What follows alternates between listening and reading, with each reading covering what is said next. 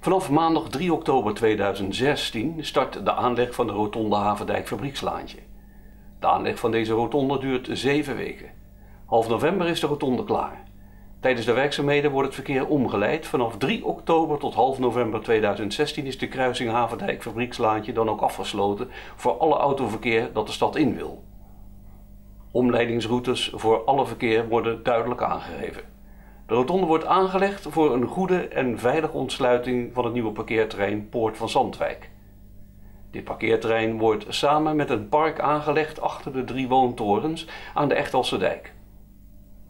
Het hele gebied wordt opgeknapt en vanaf november 2016 komen hier 168 extra parkeerplaatsen.